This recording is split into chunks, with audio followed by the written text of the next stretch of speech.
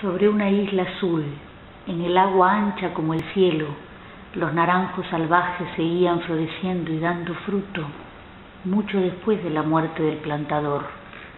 Quedaban unas pocas limas donde su casa se desplomó, tres troncos enjutos, agobiados de verde desmedrado. Eran los manchones turquesa y naranja del plantador, su verde básico, un verde horneado, más verde bajo el más verde sol. Estas eran sus playas, los mirtos marinos en la arena blanca, el chapaleo en los fangales del mar.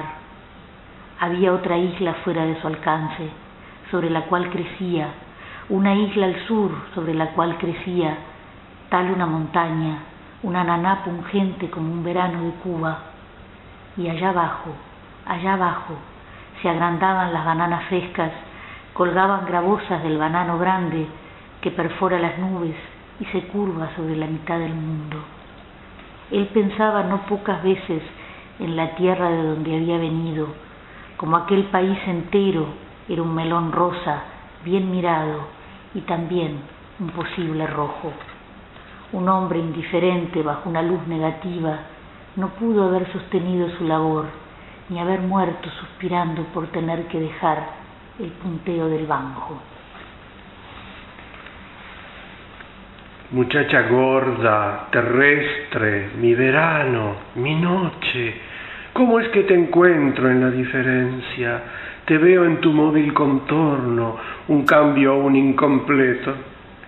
Me resultas conocida y sin embargo una aberración soy educado, madame, pero bajo un árbol esta sensación sin motivo requiere que te nombre directamente, no gaste más palabras, controle tus evasiones, te sujete a ti misma.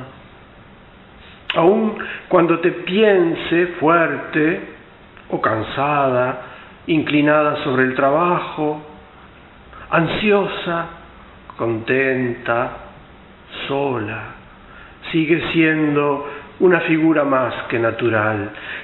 Te vuelves el fantasma de pies ligeros, la distorsión irracional. No importa cuán fragante, cuán preciosa. Eso es la distorsión más que racional. La ficción que resulta del sentimiento. Sí, eso. Día lo van a entender en la Sorbonne.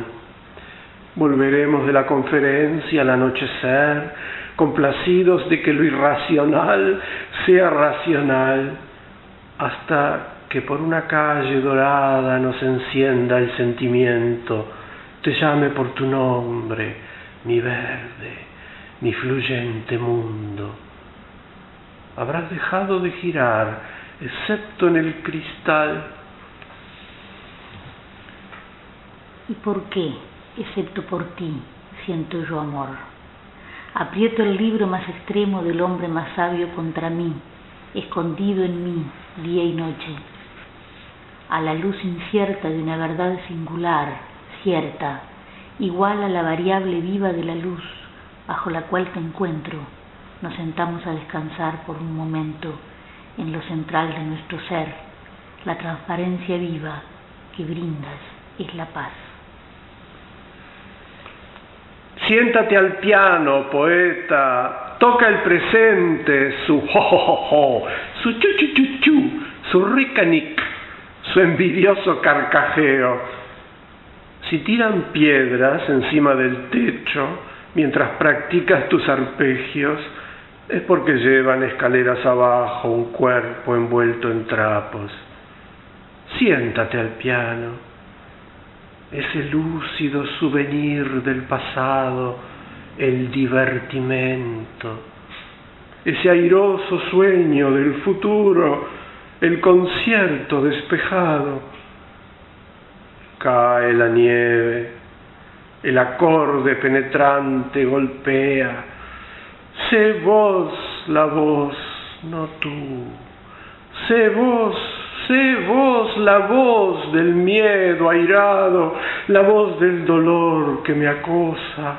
Sé vos el sonido ventoso como de un gran viento aullante por el cual se desahoga la pena, despedida, absuelta en un aplacamiento estelar.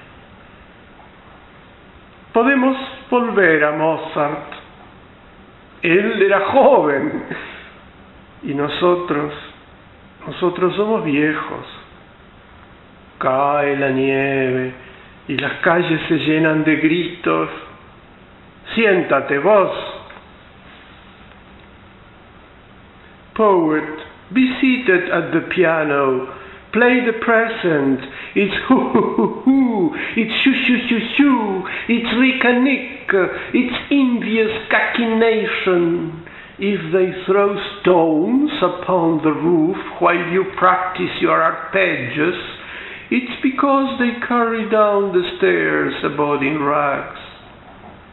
Be seated at the piano, that lucid souvenir of the past, the divertimento, that airy dream of the future, the unclouded concerto. The snow is falling. Strike the piercing chord. Be thou the voice, not you. Be thou, be thou, the voice of angry fear, the voice of this besieging pain. Be thou that wintry sound as of the great wind howling by which sorrow is released, dismissed, absolved in a starry placating. We may return to Mozart. He was young, and we, we are old. The snow is falling, and the trees are full of cries. Be seated, thou